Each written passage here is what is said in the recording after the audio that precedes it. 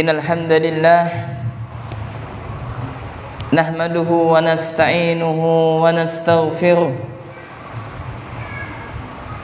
ونعوذ بالله من شرور أنفسنا ومن سيئة أعمالنا. من يده الله فلا مضل له ومن يضلل فلا هادي له. أشهد أن لا إله إلا الله وحده لا شريك له وأشهد أن محمدا عبده ورسوله لا نبي بعده. اللهم صل وسلم وبارك على نبينا محمد وعلى آله وأصحابه ومن تبعهم بإحسان إلى يوم الدين. jemaah para akhwat dan juga umahat rahimani rahimakumullah Alhamdulillah segala puja dan puji syukur selalu senantiasa kita peruntukkan kepada Allah Jalla wa Ala yang mana Allah Subhanahu wa taala masih memberikan limpahan nikmatnya begitu banyak kepada kita. Semoga salam dan selawat senantiasa tercurahkan kepada junjungan Nabi besar kita Muhammad bin Abdullah kepada keluarganya, kepada sahabatnya dan juga kepada umatnya yang senantiasa berusaha mengikuti jejak langkah beliau. Kaum muslimin, kaum muslimah rahimani rahimakumullah. Kita akan melanjutkan kajian kita kajian rutin khusus kaum muslimah dengan tema menjadi perhiasan terindah dengan tema menjadi perhiasan terindah sebagaimana dalam sebuah hadis Nabi yang mulia Allahumma salli wa sallim alaih Nabi bersabda ad-dunya mata'un wa khairun mata'id dunya al-mar'atu salihah. Nabi sallallahu alaihi wa alihi wasallam bersabda dunia adalah perhiasan. Dunia adalah perhiasan. Ad-dunya mata'un. Dunia adalah perhiasan. Wa khairun mata'id dan sebaik-baik perhiasan dunia al-mar'atu salihah adalah wanita salihah. Maka bagi anda wahai para akhwat bagi anda wahai para umahat wahai para istri wahai para bunda anda adalah perhiasan terindah di atas permukaan bumi ini. Kalau seandainya anda menjadi wanita soleha kalau seandainya anda menjadi istri yang soleha kalau seandainya Anda menjadi sosok seorang ibu yang soleha, maka menjadi perhiasan terindah, menjadi perhiasan terindah. Itu diperlukan dengan ilmu. Maka seseorang wanita tak akan bisa menjadi perhiasan terindah kalau seandainya mereka jahil, mereka bodoh kepada agama ini. Maka anda harus belajar wahai para wanita wahai para akhwat anda harus belajar. Maka pada kesempatan kali ini kita akan mengkaji kitab kita akan mengkaji daripada kitab Syarah Al-Jami yang ditulis oleh Al-Ustaz Dr. Firanda Adirja LCMH Hafizahullah yang mana kitab ini kita fungsikan dari program sedekah kitab dari para donatur yang menginfakkan hartanya yang memberikan ia hartanya kepada pengurus musola al berkah ini lalu kita belikan berbagai macam kitab atau kita belikan berbagai macam buku dan kita kaji. Maka mudah-mudahan yang menginfakkan hartanya mendapatkan pahala. Kenapa? Karena uang yang mereka infakkan kita gunakan untuk membeli kitab-kitab para ulama, kitab-kitab asatidah kita lalu kita kaji, kita pelajari di musola al-barakah ini. Maka para akhwat rahiman rahimakumullah kita akan melanjutkan. Kita akan melanjutkan. Maka sebelum kita melanjutkan sebelum kita melanjutkan para akhwat rahimani rahimakumullah, kami akan menukilkan sebagian perkataan salaf yang sebagaimana di dalam bio atau di dalam uh, deskripsi grup kita kajian musola al berkah yakni apa? Sebagian para ulama salaf mengatakan yakni laisal jamalu bi atwabi bukanlah keindahan itu dengan pakaian yang menghias kita. Ya. Tuzayyinuna innal jamala jamalul ilmi wal adabi. Subhanallah bagus sekali ini. Sesungguhnya keindahan itu ialah keindahan dengan ilmu dan kesopanan adab yang baik maka para akhwat dan juga para ummahat rahimani rahimakumullah dua hal ini ilmu dan adab mulai hilang di tengah-tengah kaum muslimin. Mulai hilang. Kenapa? Karena ada orang yang berilmu tapi tak beradab. Ada orang yang beradab tapi tak berilmu. Maka penting sekiranya kita untuk mengkaji kitab-kitab para ulama yang berkaitan dengan adab. Maka salah satunya kita ambil daripada Kitabul Jami' ini ditulis oleh Syekh Al-Imam Al-Hafidh Ibnu Hajar Asqalani dari kitabnya Bulughul Maram. Ya, maka kita melanjutkan. Kemarin kita telah sampai kepada hadis yang kelima. Hadis yang kelima. Maka harapan kita jamaah mudah-mudahan para umahat yang hadir dan juga para akhwat mereka betul-betul menjadi perhiasan dunia yang terindah. Ya ini apa? Menjadi wanita soleha. Kenapa? Karena banyak para istri yang mereka durhaka kepada suaminya. Banyak para istri yang durhaka kepada suaminya. Banyak para wanita yang telah hilang rasa malunya. Banyak para wanita yang telah hilang rasa malunya. Dan bahkan mereka tak malu untuk apa? Memamerkan aurat mereka wal billah maka bersyukur Anda wahai jamaah yang hadir maupun Anda yang menyaksikan kajian kami via online dan bagi para akhwat dan juga ummahat yang telah meluangkan waktunya untuk hadir di salah satu di taman surga, di salah satu di majelis-majelis ilmu, maka mudah-mudahan Allah Jalla wa ala memberikan taufik kepada kita. Jadi tidak hanya semangat kita belajar tapi hal yang terpenting adalah kita harus semangat untuk apa? Mengamalkan ilmu yang telah kita pelajari. Maka kita bacakan hadis yang kelima adalah hadis tentang seputar adab-adab bermajelis. Maka Anda wahai para akhwat, Anda wahai para ummahat tak akan bisa menjadi perhiasan terindah kalau seandainya Anda tidak memiliki ilmu tentang seputar adab. Maka kali ini kita mengkaji tentang hadis adab bermajelis. Hadis yang kelima bahwasanya dari sahabat yang mulia wa an ibnu Umar radhiyallahu anhu. Yakni dari Ibnu Umar dari Abdullah bin Umar radhiyallahu taala anhu qala dia berkata qala Rasulullah sallallahu alaihi wa ala alihi wasallam yakni Rasulullah sallallahu alaihi wa ala alihi wasallam telah bersabda apa kata Nabi yang mulia Nabi menyebutkan la yuqimu rajulu ar-rajula min majlisihi janganlah seseorang memaksa saudaranya berdiri dari tempat duduknya.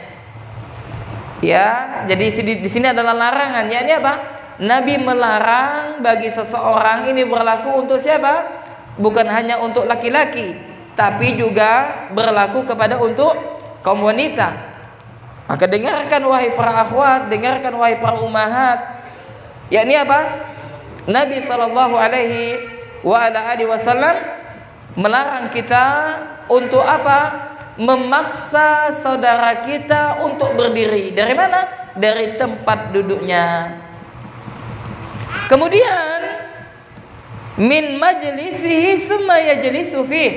Kemudian ketika dia memerintahkan atau ketika dia memaksa saudarinya untuk berdiri dari tempat duduknya, lantas dia ini duduk di tempat saudarinya tersebut. Faham ya?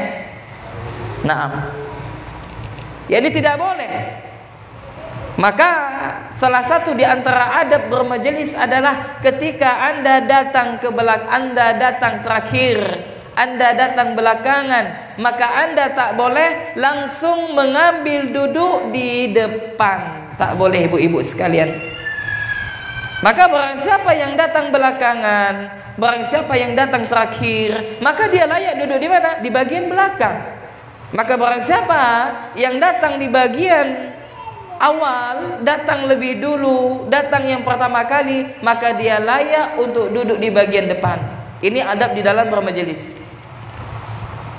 Maka Rasulullah sallallahu alaihi wa alihi wasallam melarang bagi seorang laki-laki atau seorang wanita untuk memaksa saudaranya yang sedang duduk untuk berdiri lantas dia duduk di tempat duduknya saudaranya sebelumnya kemudian Nabi sallallahu alaihi wasallam melanjutkan walakin walakin tafassahu wa tawassa'u akan tetapi kata Nabi yang mulia Allahumma salli wa sallim alaihi hendaknya mereka saling melapangkan dan merenggangkan Ya jamaah ya. Apa solusinya? Solusinya adalah solusinya adalah maka kita harus melapangkan kita melapangkan majelis yang mana kita duduk di situ agar saudara kita yang baru datang bisa duduk sebagaimana kita duduk. Subhanallah. Maha suci Allah jamaah. Kenapa? Karena hadis yang mulia ini mengajarkan kepada kita, menjelaskan kepada kita tentang apa? Pertama keagungan, kemuliaan dan kesempurnaan agama Islam. Bayangkan jamaah. Islam begitu memperhatikan adab sampai-sampai adab di dalam majelis disampaikan oleh Nabi yang mulia Allahumma salli wa sallim alaihi diajarkan oleh Nabi yang mulia Allahumma salli wa sallim alaih maka ini menunjukkan betapa pentingnya seseorang memiliki adab mulia maka jamaah kaum muslimin dan muslimah para akhwat dan juga para ummahat dan kepada sahabat muslim Bekir Indonesia chapter Singkawang yang mungkin sedang menyaksikan kajian kami Barakallahu fikum. Maka perhatikan. Perhatikan hadis yang mulia ini. Maka hadis yang mulia ini mengandung dua adab penting di dalam bermajelis. Saya ulangi. Hadis yang mulia ini mengajarkan dua adab penting kepada kita. Ya, dan perhatikan jamaah, adab bermajelis di sini bukan hanya majelis di dalam ilmu, lah tidak. Tapi lebih umum. Ya enggak, lebih umum. Kenapa? Karena Nabi tidak mengkhususkan majelis hanya terpaut kepada majelis ilmu, tidak. Termasuk juga apa? Majelis di dalam acara, misalkan acara apa? Acara perkawinan misalkan, acara apa lagi? ha, acara akad nikah misalkan acara apa lagi acara gumpul bersama keluarga acara apa lagi arisan keluarga nah ketika kita berbicara tentang masalah arisan bolehkah ya maka tidak di sini tempatnya yang jelas arisan itu boleh dilakukan dengan catatan ketika mendapatkan uang arisan maka uang tersebut tak boleh kita gunakan untuk makan sama-sama kalau anda hendak makan maka jangan daripada uang arisan pakai pakai uang yang lain. Karena apa? Arisan itu adalah hutang. Tak boleh seseorang mengambil manfaat daripada hutangnya tersebut. Nah, ya maka majelis secara umum ya bukan hanya sekedar majelis ilmu akan tetapi lebih daripada itu. Baik jemaah rahiman rahimakumullah. Kemudian ada dua ada penting yang mengajarkan kepada kita. Maka mudah-mudahan setelah kita mengetahui adab-adab tersebut kita amalkan. Kita aplikasikan dalam kehidupan kita. Terutama Anda wahai para bunda, Anda wahai para umi, Anda wahai para ibu dan Anda wahai para ustazah yang mungkin Anda memiliki anak murid, walaupun anak murid TK, walaupun anak murid TPA, walaupun anak murid e, PAUD misalkan maka adab ini hendaknya anda ajarkan. Adab ini hendaknya anda sampaikan kepada siapa? Kepada anak-anak anda kepada anak murid-murid anda. Tentunya anak kita tersebut mereka sudah mulai faham. Ya anak usia berapa? Ya sekitar 7 tahun 8 tahun. Sudah mulai faham sudah mulai mengerti apa yang kita sampaikan. Ya tidak, terkadang kita orang tua ya, ya, ya ini apa, e, apa namanya, ingin perkataannya itu difahami oleh anaknya yang masih kecil, padahal anaknya berusia berapa? Tiga tahun, empat tahun. Ya ternyata kita dalam mendidik anak masih terdapat banyak kesalahan. Maka mudah-mudahan Allah Subhanahu wa taala mengampuni dosa-dosa kita dan kita berusaha dan terus melatih diri kita agar kita menjadi sosok seorang ayah yang selalu dirindukan oleh anak-anak ketika kita tidak ada. Dan mudah-mudahan kita menjadi sosok seorang ibu yang anak-anak selalu rindu kepada ibunda ibunda mereka dan selalu yakni ingin ya seperti ibu mereka.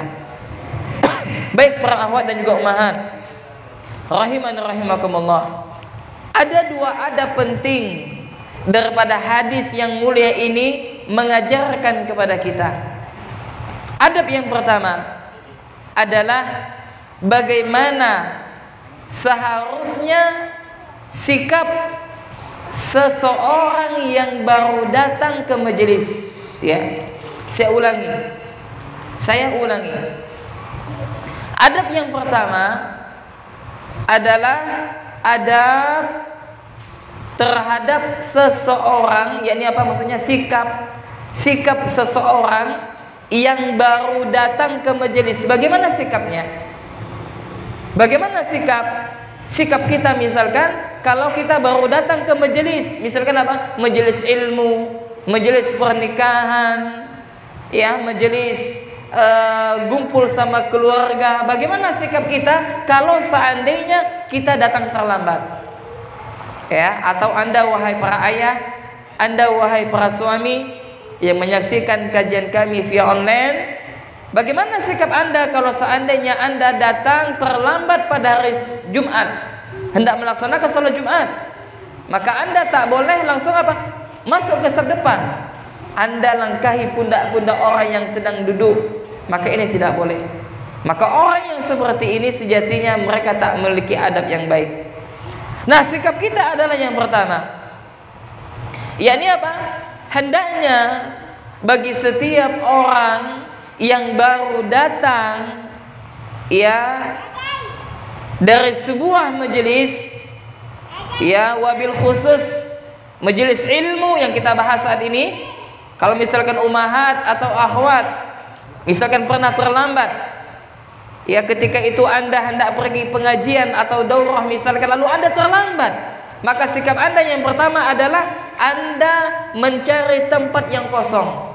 Nah anda harus mencari apa? Tempat yang yang kosong.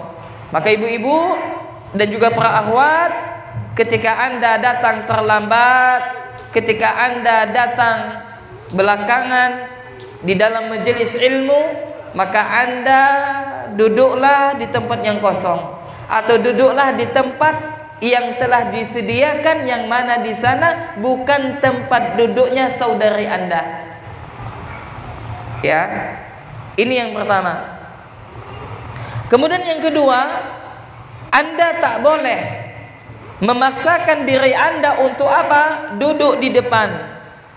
Duduk di paling depan sedangkan Anda orang yang terakhir datang. Sehingga apa? Anda langsung masuk di bagian depan lalu Anda langkahi pundak-pundak saudari-saudari Anda. Ini tak boleh. Ini tak beradab namanya. Ya maka ketika anda datang ke belakangan, anda datang belakangan, anda datang terakhir, maka anda duduklah di tempat yang kosong dan yang kedua anda tak boleh melangkahi pundak-pundak daripada saudari anda. Kemudian yang ketiga, ada bagi apa bagi kita yang datang terlambat. Yang pertama apa tadi? Hendaknya kita duduk di mana? di tempat yang kosong. Itu yang pertama. Kemudian yang kedua, kita tidak boleh langsung masuk di duduk bagian depan. Menerobos langsung masuk ke depan. Lalu apa kita langkahi pundak-pundak saudara-saudara kita yang sedang duduk? Ini tak boleh. Kemudian yang ketiga, yang tak boleh juga adalah kita menyuruh orang lain untuk berpindah daripada tempat duduknya. Faham ya, akhwat ya dan umahat. Misalkan anda datang belakangan, Anda datang terakhir. Lalu ketika Anda masuk di dalam majelis ilmu, lalu Anda jumpai ada saudari Anda yang sedang duduk, maka apa? Anda perintahkan dia untuk apa? Untuk berdiri. Lalu Anda duduk di tempatnya. Nah, ini tidak boleh. Ya, tidak tidak boleh. Ya. Kemudian para akhwat dan juga ummahat rahiman rahimakumullah. Yang keempat, yakni tak boleh seseorang ketika dia datang belakangan, dia datang terakhir, lantas apa? Dia bersikeras. Maksudnya apa bersikeras itu? Memiliki sifat egois untuk apa? Tetap duduk di depan. Walaupun dia datang belakangan, dan ini tidak boleh. Kenapa tak boleh? Karena adab di dalam Islam melarang di dalam sebuah majelis bagi orang yang datang belakangan lalu mereka duduk di bagian depan sedangkan dia datang kapan? belakangan dan akhirnya orang yang sudah duduk di situ dipaksanya untuk pindah. Nah, ini tidak boleh. Termasuk yang duduk itu adalah anak kecil. Subhanallah. Indahnya Islam. Termasuk apa? Anak kecil. Tak boleh. Walaupun dia anak kecil, tak boleh kita suruh pindah sedangkan kita duduk di situ. Ya para umahat dan juga para akhwat. Kemudian adab yang kedua. Ya, adab yang kedua. Tadi kan adab yang pertama apa? Adab yang berkaitan dengan orang yang datang terlambat. Ya enggak? Orang yang datang terlambat. Bagaimana sikapnya? Pertama, saya ulangi. Hendaknya dia duduk di tempat yang kosong atau duduk di bagian belakang. Kemudian yang kedua, dia tidak boleh menerobos langsung masuk di bagian depan. Sehingga apa? Melangkahi pundak-pundak saudaranya yang lain. Yang ketiga, dia tidak boleh memaksa orang lain untuk berdiri lalu dia duduk di tempat tersebut. Kemudian yang keempat, dia tidak boleh bersikeras, memiliki sikap egois untuk apa? Tetap di duduk di bagian depan. Ya orang itu ridho ataukah tidak? Ya tidak diperdulikannya. Yang penting apa? Dia bisa duduk paling depan. Sedangkan datangnya terakhir. Nah ini tidak boleh. Bisa difahami ya jamaah ya? Ya para akhwat dan juga umahat. Nah, itu adab yang pertama. Nah, kemudian adab yang ketiga, ya adab yang kedua, ya adab yang kedua. Adab yang berapa? Adab yang kedua. Ya, ya ini apa? Bagaimana sikap para hadirin? Nah, ini harus paham juga. Ya, ini apa? Sikap kita yang telah datang duluan. Paham ya? Bagaimana sikap kita yang hadir, yang duduk duluan di dalam majelis bagaimana sikap kita terhadap saudara kita yang baru datang ya maksudnya apa yang datang terlambat paham ya jamaah ya Tadi kan adab yang pertama apa? Yang berkaitan mereka yang datang terlambat ya enggak? Sikap mereka tadi telah kita jelaskan. Kemudian yang kedua bagaimana sikap kita yang yang apa? Yang yang telah datang duluan. Bagaimana sikap para hadirin yang sudah hadir di majelis terhadap saudaranya yang baru sampai di majelis. Maksudnya apa? Bagaimana sikap kita? Ketika ada saudara kita baru datang, bagaimana sikap kita? Nah, nah sikap kita para jamaah, para akhwat dan juga ummahat, rahimani rahimakumullah. Maka yang pertama, ya, sikap kita adalah yakni apa? Kita melapangkan majelis. Maksudnya apa? Ketika ada saudara kita yang datang terlambat, kita harus peka. Nah, ini penting di jamaah ibu-ibu. Hadirkan sikap kepekaan kepada anak-anak kita. Dalam hal apa? Bersosial. Ada orang tak peka keadaan lingkungan sekitar tempat dia tinggal yang kami maksudkan adalah dalam tanda kutip adalah kepekaan dalam sosial misalkan. Kalau misalkan saudara kita lama kita tak kelihatan, mungkin dia sakit, maka tugas kita apa? Kita tanya kabarnya. Atau misalkan kita melihat yang mungkin dia ada tertimpa musibah, maka apa kita tawarkan bantuan kita yang bisa kita bantu, apa itu tenaga, apa itu pikiran, dan yang semisalnya. Nah, ini penting peka. Kalau Anda seorang guru misalkan, Anda juga harus peka. Maksudnya apa? Ketika Anda seorang guru, nah ini juga nasihat bagi saya, usahakan jangan datang terlambat terus. Kecuali Anda minta izin terlebih dahulu atau Anda mengganti waktu terlambat Anda itu dengan Anda keluar kelas melewati waktu daripada yang telah disepakati. Ini kalau di dalam sebuah program pendidikan. Beda dalam yayasan atau lembaga pendidikan semisal yakni madrasah sanawiyah swasta itu sudah terjadwal dengan rapi. Nah, kita harus peka dalam masalah ini. Kenapa? Karena ada orang yang tidak peka.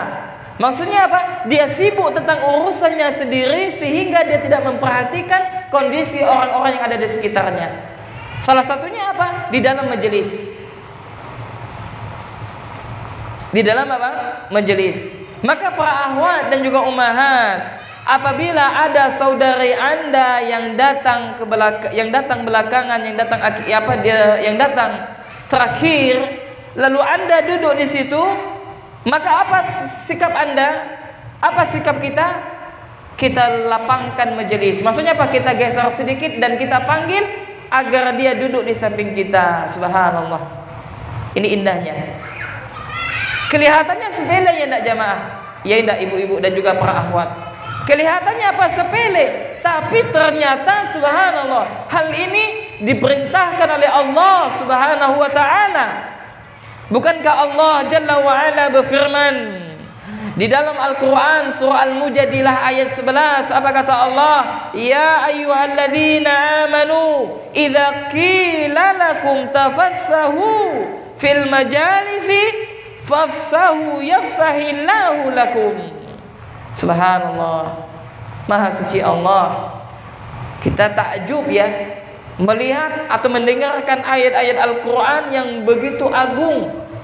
Kita bertasbih kepada Allah Jalla wa ala. Apa kata Allah Subhanahu wa taala, "Ya ayyuhalladzina amanu" Wahai orang-orang yang beriman kata Allah, "Idza apabila qila lakum" Apabila dikatakan kepada kalian apa? Tafassahu. Yani apa? Renggangkanlah lapangkanlah fil majalis di dalam majelis-majelis maksudnya apa di dalam majelis entah itu majelis ilmu majelis pernikahan majelis acara atau yang semisalnya maka apabila ada saudara kita untuk meminta kepada kita dilapangkan majelis agar dia bisa duduk maka apa kata Allah fafsahu maka apa renggangkanlah maka lapangkanlah majelis tersebut. Apa keutamaannya? Apa balasannya?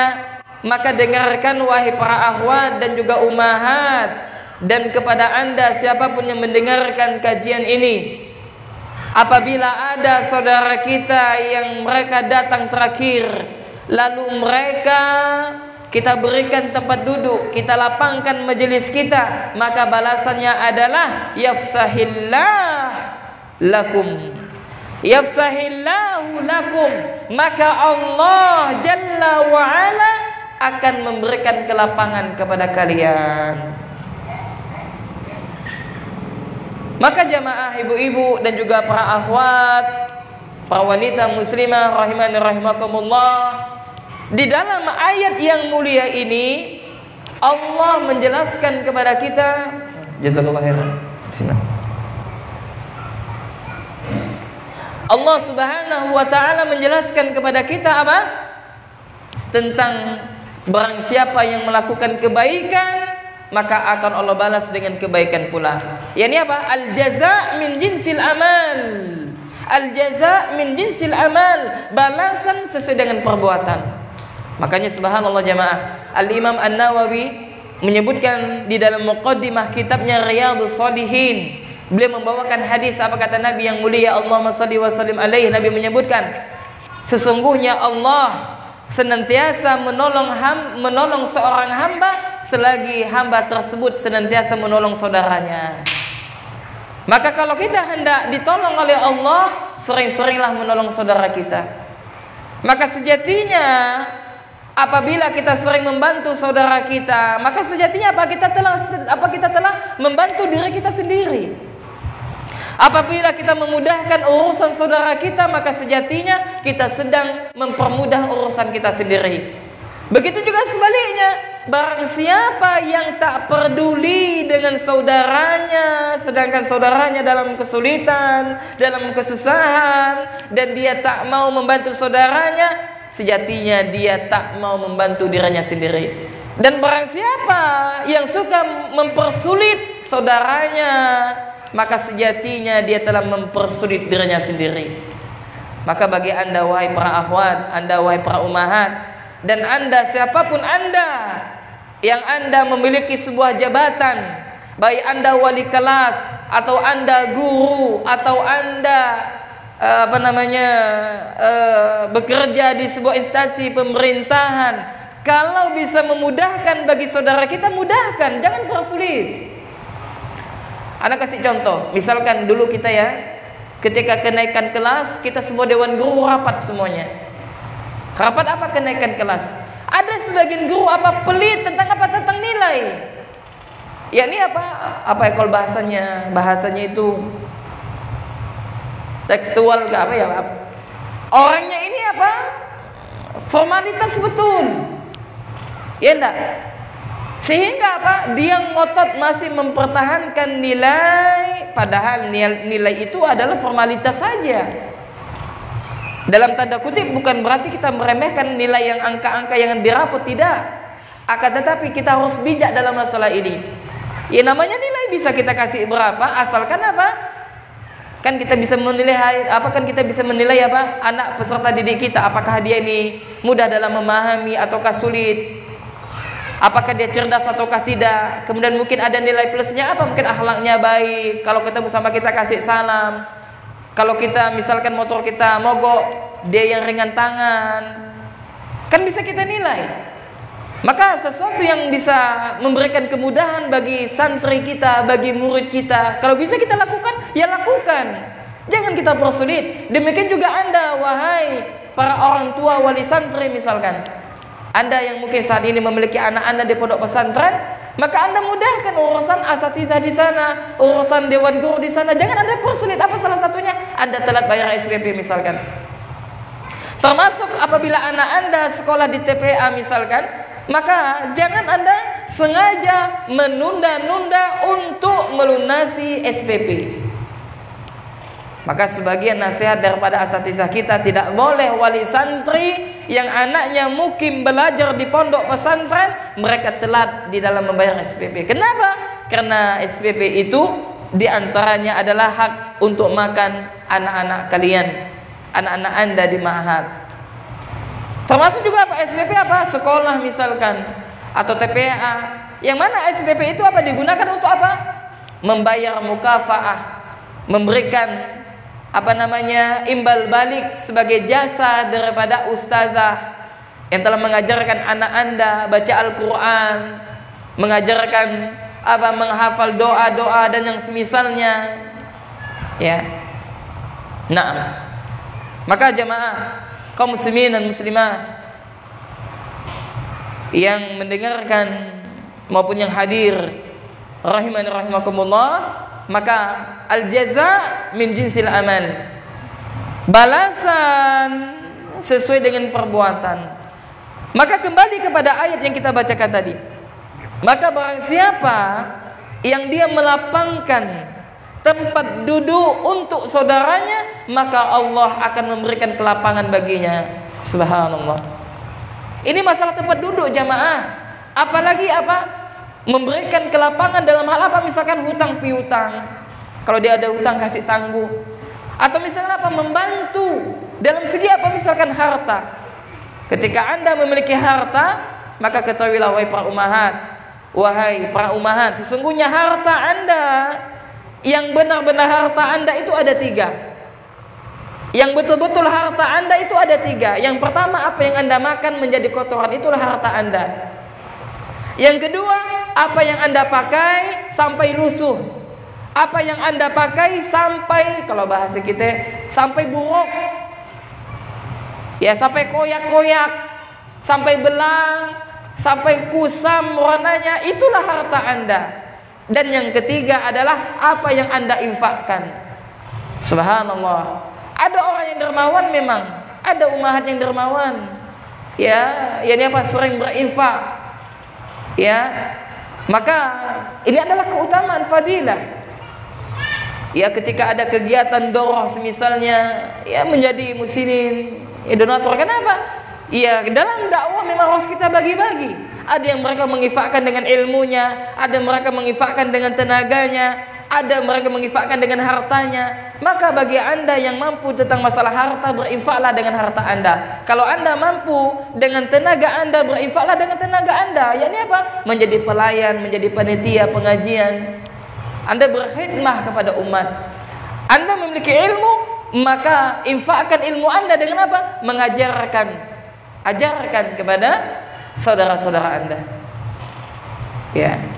Maka para akhwan dan juga ummahat rahimani rahimakumullah. Maka para ulama menyebutkan bahwasanya yang dimaksud Allah akan melapangkan hamba tersebut. Maksudnya adalah Allah Jalla wa ala akan memberikan kelapangan tempatnya di surga. Ya.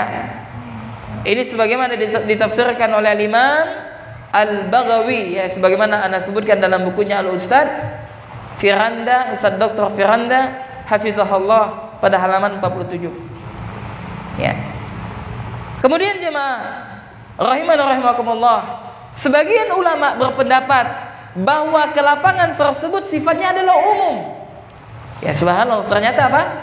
Dengan kita memberikan lapangan dengan kita memberikan tempat duduk atau atau apa namanya merenggangkan atau melapangkan majelis tempat duduk untuk saudara kita yang baru datang ternyata Allah Jalla wa'ala akan membalas kita dengan balasan yang begitu banyak sekali. Apa kata Allah? Yafsahillahu lakum. Maka Allah akan melapangkan kalian. Maka al-imam asy-syaukani rahimahullah beliau menyebutkan Allah melapangkan maksudnya adalah secara umum. Yakni apa? Allah melapangkan bagi kalian di surga atau Allah melapangkan pada setiap perkara yang kalian inginkan kelapangan padanya. Baik kelapangan rezeki kelapangan tempat ya enggak? Atau kelapangan yang lainnya. Maka jamaah para akhwat dan juga ummahat rahiman rahimakumullah ya maka sangat penting bagi kita untuk memperhatikan adab yang mungkin sebagian orang menilai adab ini adalah hal yang biasa. Tapi kenyataannya hal yang biasa menjadi sangat luar biasa apabila ikhlas dilakukan karena Allah. Maka perhatikan di dalam adab majelis. ya dalam bersikap, dalam bertutur kata dan yang semisalnya. Biar apa? Biar ya Anda wahai para akhwat dan dan juga para umahat menjadi perhiasan terindah sebagaimana sabda Nabi yang mulia Allahumma salli wa sallim alaih ad-dunya mata'un. Dunia adalah perhiasan kata Nabi. Wa khairun mata'id dunya dan sebaik-baik perhiasan dunia al mar'atu salihah wanita yang salihah. Maka mudah-mudahan yang hadir dan juga siapa pun yang mendengarkan kajian kami yang menjadi wanita yang soleha wanita yang dirindukan surga wanita yang kalau dia salah dia mudah meminta maaf kepada suaminya. Wanita yang berusaha memberikan pelayanan yang terbaik kepada suaminya.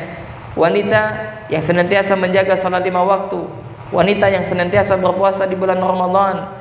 Wanita yang senantiasa berusaha menjaga kesuciannya, menjaga kehormatannya dan wanita yang senantiasa berusaha mendidik anaknya, berbuat baik kepada mertuanya, berbuat baik kepada tetangganya, berbuat baik kepada saudaranya dan berbuat baik kepada manusia secara umumnya. Maka demikian yang dapat kami sampaikan jemaah. Kurang lebihnya saya mohon maaf. Ya, maka kesimpulan daripada kajian kita tentang seputar menjadi perhiasan terindah. Kesimpulannya adalah yang pertama. Yang pertama, Anda tak akan bisa menjadi perhiasan terindah kalau seandainya Anda jahil bodoh terhadap ilmu agama. Kedua, kedua, Anda tak akan bisa menjadi perhiasan terindah kalau seandainya Anda tak berhias dengan adab-adab yang mulia. Anda tak akan bisa menjadi wanita.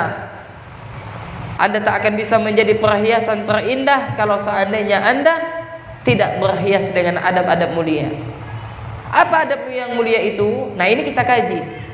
Apa adab mulia itu? Ini kita kaji. Salah satu adab yang mulia sebagaimana telah kita sebutkan apa? Pada kajian yang pertama kali dia berusaha menunaikan hak saudara-saudaranya. Di antara adab yang mulia adalah dia senantiasa memiliki sifat qanaah, merasa cukup atas pemberian suaminya. Di antara adab atau akhlak yang mulia adalah dia ketika bertiga ketika dia bertiga dan ketika dia berbicara dengan temannya yang yang lain maka dia tidak berbisik-bisik atau dia tidak berbicara melainkan dengan bahasa yang saudaranya juga faham anda tidak akan bisa menjadi wanita soleha, Anda tidak akan bisa menjadi perhiasan terindah kalau seandainya Anda tidak mengamalkan adab-adab yang baik, adab-adab yang mulia. Apa di antaranya? Nah ini yang terakhir kita bahas, adab di dalam majelis. Ketika Anda datang terakhir, Anda duduk di tempat yang kosong. Ya ini apa? Duduk di bagian belakang. Dan Anda tak boleh duduk di bagian depan sedangkan Anda melewati pundak-pundak daripada saudari Anda. Atau juga Anda tak boleh memaksa saudari Anda untuk berdiri lalu Anda duduk di situ walaupun anak kecil yang duduk. Dan Anda tak akan bisa menjadi perhiasan terindah kalau seandainya Anda lisan dan tangan Anda tak Anda jaga. Maka jamaah para akhwat dan juga umahat pernah satu ketika Rasulullah Sallallahu Alaihi Wasallam ditanya tentang apa? Seorang wanita. Maka dengarkan. Seorang sahabat bertanya, sahabat bertanya ya Rasulullah, sesungguhnya ada seorang wanita yang dia apa yang pertama kali dia rajin sholat malam, rajin baca Al-Quran, rajin baca Al-Quran, rajin berpuasa. Akan tetapi ya Rasul, lisannya suka menyakiti tetangganya, tangannya suka mengganggu tetangganya. Apa kata Nabi? Hiya finnar. Dia di neraka kata Nabi. Waliyahzubillah.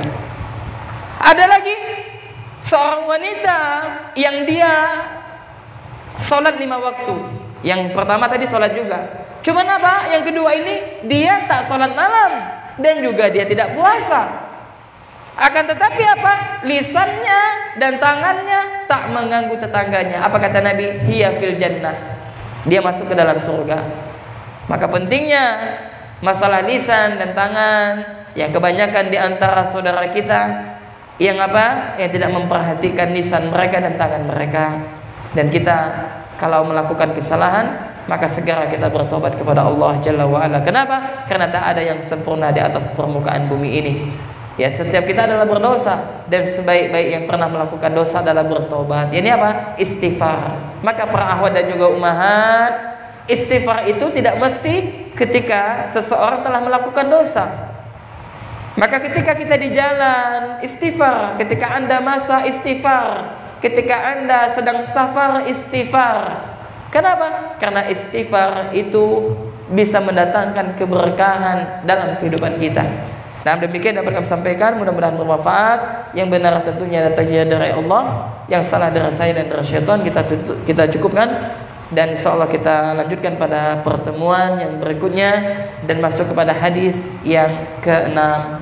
Subhanakallahumma wa bihamdika أشهد أن لا إله إلا أنت أستغفرك وأتوب إليك. ثم السلام عليكم ورحمة الله وبركاته.